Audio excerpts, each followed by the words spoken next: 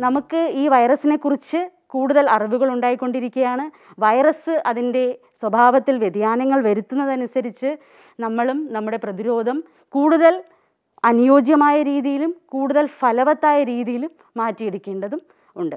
അപ്പോൾ നമ്മൾ ഇനി കോളേജിലേക്കും സ്കൂളുകളിലേക്കുമൊക്കെ പോകുന്നത് ചിലപ്പോൾ ഒരുപക്ഷെ വൈകിയേക്കാമെങ്കിലും ഓഫീസുകളിലേക്ക് ഉടൻ തന്നെ ലോക്ക്ഡൗണിന് ശേഷം തിരിച്ചു പോകേണ്ടി വരും.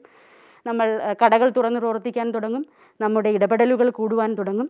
അവിടെ പ്രതിരോധ മാർഗങ്ങൾ ശക്തിപ്പെടുത്തുന്നതിനോടൊപ്പം കുറച്ചധികം കാര്യങ്ങൾ നമ്മൾ ശ്രദ്ധിക്കേണ്ടതുണ്ട്.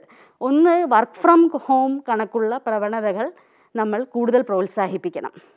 രണ്ട് അമ്പത് ശതമാനം നമ്മളിപ്പോഴത്തെ അറേഞ്ച്മെന്റ്സ് വർക്ക് പ്ലേസസിൽ നടത്തുന്ന അറേഞ്ച്മെന്റ്സ് തുടർന്ന് കണ്ടിന്യൂ ചെയ്യേണ്ടി വരും.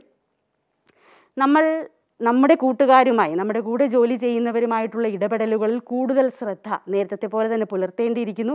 അതിൽ പ്രത്യേകം ശ്രദ്ധിക്കേണ്ടത് കൂട്ടം കൂടിയിരുന്ന് ഭക്ഷണം കഴിക്കുക.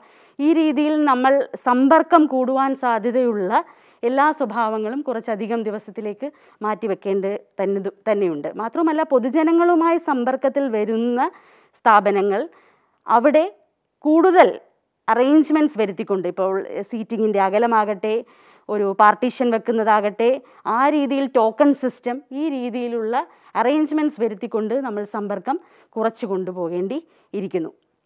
ഇത് കൂടാതെ നമ്മൾ ശ്രദ്ധിക്കുവാനുള്ളത് നമ്മുടെ സ്റ്റാഫുകളെല്ലാം വാക്സിനേറ്റഡ് ആകുവാൻ അവരുടെ മുറ അതായത് അവർക്ക് വാക്സിൻ ലഭ്യമാകുന്ന മുറയ്ക്ക് തന്നെ അവർ വാക്സിൻ എടുക്കുന്നു എന്ന് ഉറപ്പാക്കുക.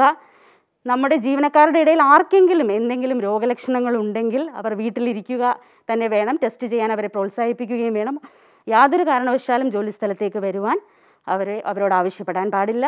അത് നമ്മൾ ഉറപ്പാക്കുക തന്നെ വേണം. മാത്രവുമല്ല നമ്മുടെ കൂട്ടത്തിൽ മറ്റ് രോഗങ്ങളുള്ളവർ മുൻഗണന അർഹിക്കുന്നവർ കൂടുതൽ അപകട സാധ്യതയുള്ളവരുണ്ടെങ്കിൽ അവരെ സംരക്ഷിക്കേണ്ട ഉത്തരവാദി ഉത്തരവാദിത്വം നമ്മൾ ജോലിസ്ഥലത്തുള്ളവരുടേതാണ്